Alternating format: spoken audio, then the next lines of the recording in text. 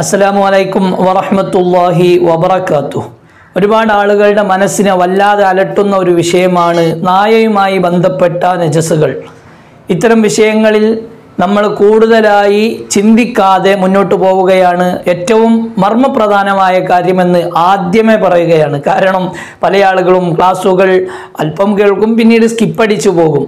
അതുകൊണ്ടാണ് ആദ്യം ആ പോയിന്റ് പറഞ്ഞത്. നമ്മുടെയൊക്കെ വീടിന്റെ തൊട്ടടുത്ത വീടുകളിലോ അല്ലെങ്കിൽ തെരുവു നായകളൊക്കെ കൂടുതലായി നടക്കുന്ന ഒരു സാഹചര്യം. ചില ആളുകളുടെയൊക്കെ വിഷമം തൊട്ടടുത്ത അയൽവാസികൾ നായയെ വളർത്തുന്ന ആളുകളാണ്.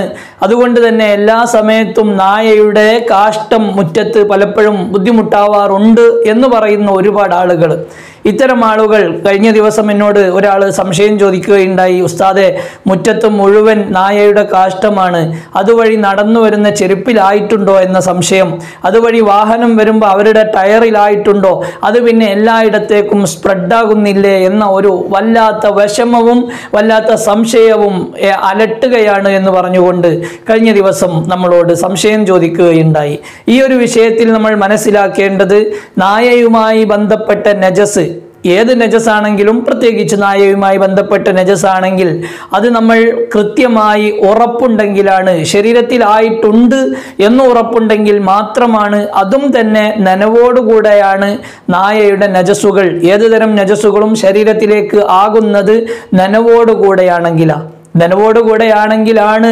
ശരീരത്തിലേക്ക് നജസ് പകരുകയുള്ളൂ നജസ് പുരളുകയുള്ളൂ എന്ന് പറയുമ്പോൾ ഒരുപാട് ആളുകൾക്ക് വീണ്ടും അതിലൂടെ സംശയം വരാറുണ്ട്. കാരണം നായ നജസ് ആയത് നനവോടുകൂടെ ആണെങ്കിലോ അല്ലെങ്കിലോ സാധ്യത കൂടുതലാണ്.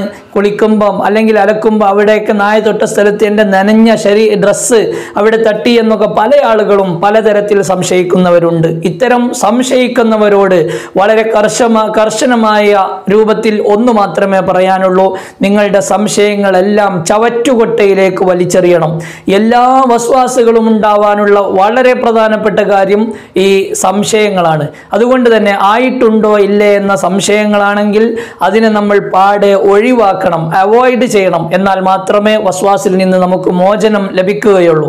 അതുകൊണ്ട് തന്നെ സിറ്റ് ഔട്ടിൽ നായ കയറിയോ എന്ന് സംശയം അല്ലെങ്കിൽ മുറ്റത്ത് നായയുടെ കാഷ്ടത്തിൽ ചവിട്ടിയോ ഇല്ലയോ ടയർ തട്ടിയോ ഇല്ലയോ എന്നൊക്കെ സംശയമുള്ള ആളുകളോട് വളരെ വ്യക്തമായി പറയാനുള്ളത് അതെല്ലാം നിങ്ങളുടെ തോന്നലുകളും നിങ്ങളെ ഇബിലിയസ് ചിന്തിപ്പിക്കുന്നതുമാണ്. അതുകൊണ്ട് അത്തരം കാര്യങ്ങളിൽ വസ്വാസുള്ള ആളുകൾ മൈൻഡ് ചെയ്യേണ്ടതില്ല. നമ്മുടെ ശരീരത്തിൽ ആയിട്ടുണ്ട്. അതും നനവോടുകൂടെയാണ് ആയത് എന്ന് നൂറിൽ നൂറ് ശതമാനം ഉറപ്പുണ്ടെങ്കിൽ നൂറ് ശതമാനം ഉറപ്പുള്ളതുപോലെ സംശയമുള്ള ആളുകൾ ഉണ്ടാകും അതൊക്കെ വസ്വാസിന്റെ ഒരു ഭാഗമാണ്. ആ നൂറ് ആയതുപോലെയുള്ള സംശയമാണെങ്കിലും അതൊന്നും വകവെക്കാതെ ഉറപ്പുണ്ടെങ്കിൽ മാത്രം കഴുകുക എന്ന രൂപത്തിലേക്ക് വന്നാൽ മാത്രമേ നമ്മുടെ വസ്വാസിൽ നിന്ന് മാറാനായിട്ട് സാധിക്കുകയുള്ളൂ. അതുകൊണ്ട് തന്നെ സംശയമുള്ള മുഴുവൻ കാര്യത്തെയും നമ്മുടെ ജീവിതത്തിൽ നിന്ന് പാടെ ഒഴിവാക്കണമെന്ന് സാന്ദർഭികമായി ഓർമ്മപ്പെടുത്തുകയാണ്. സംശയങ്ങൾ കൊണ്ടു നടക്കുമ്പോൾ വസ്വാസ് കൂടുകയും മാനസികമായി കുടുംബപരമായി ഒരുപാട് വിഷമങ്ങൾ പ്രയാസങ്ങളൊക്കെ വന്നെത്താൻ സാധ്യത കൂടുതലാണ്. അതുകൊണ്ട് എല്ലാ സംശയങ്ങളും ഒഴിവാക്കണമെന്ന് ഓർമ്മപ്പെടുത്തുന്നു. അസ്സലാമു അലൈക്കും വറഹ്മത്തുള്ളാഹി വബറകാതുഹു.